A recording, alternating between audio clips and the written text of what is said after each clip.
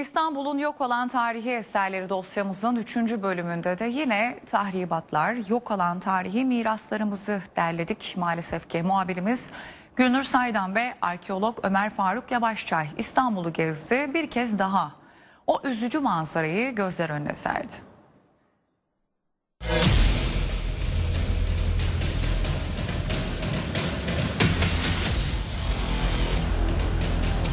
Öylece üzerinden geçip gidiyorlar. Birçoğu farkında bile olmasa da burası İstanbul'un en acı caddesi. 16 Mart 1920 tarihinde İngiliz işgalciler tarafından Mehmetçiklerin uyurken şehit edildiği o yer. O güne ait tek bir eser bile kalmamış. Karakol binası tam bu alandaydı. Tam böyle yerini tespit edemiyoruz ama ortalama bu alandaydı karakol binası. İşte onu koruyamadık. Hatta e, defalarca gazeteye çıktı o eski dönemlerde 1920'lerin başında o karakol binası. Maalesef sahip çıkamadık. E, sahip çıksak bugün burada olacaktı. İnsanlarımız ziyaret edecekti. O tarihi anlara şahitlik edeceklerdi.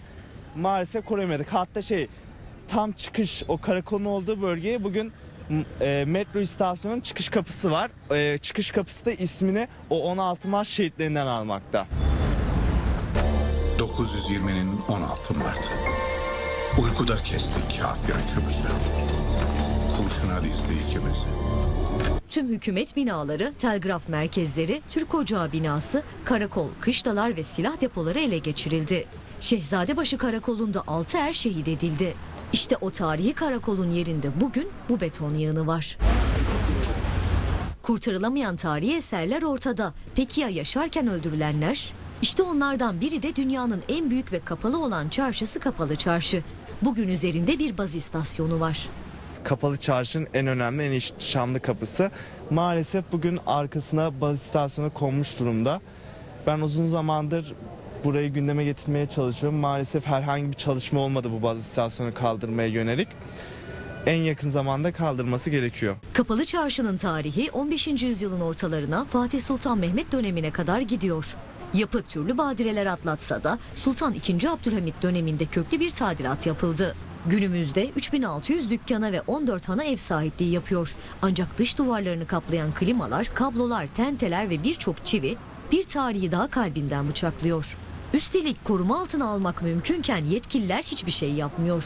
E, Şu an karşıda Cevahir Bedesten'i görmekteyiz. Burası kapalı çarşının başlamasına sebep olan bedesten.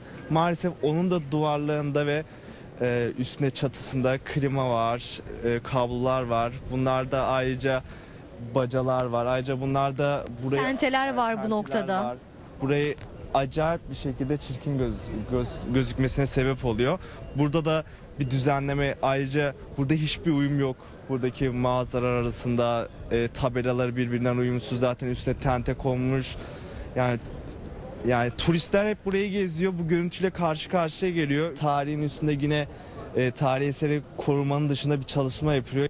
Osmanlı'nın tarihi meydan çeşmelerinin de durumu farklı değil. Evet şu anda alt kısımda görmüş olduğunuz üzere çeşmenin kurp kısmı tamamen yok olmuş durumda. Ayrıca bu ayna taşı dediğimiz bölümünde yarısı zeminin altına gömülmüş. Ya burası normalde çeşmenin suyunun aktığı alan olması gerekirken burayı kaldırım taşıyla donatmışlar. Öyle ki bu çeşme dönemin ünlü olanlarından.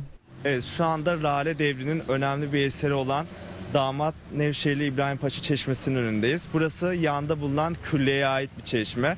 Külliye, e, külliye bazı parçalardan oluşmakta. Bu parçalardan birisi de çeşme. E, bu çeşme 1719 yılında yapılıyor ama maalesef şu an günümüzde çok kötü durumda. İstanbul'daki tarihi çeşme sayısını vermek neredeyse imkansız. Ancak bugün tamamı kaderine terk edilmiş durumda. Orayı da taşla doldurulmuş. Burası tam kurp kısmı olması gerekiyordu. Zaten burası da ayna taşı oluyor. Ayna taşında da böyle kemerli bir süsleme var. Bu kemerli süsleme de yarısından aşağısını kaybetmiş durumda.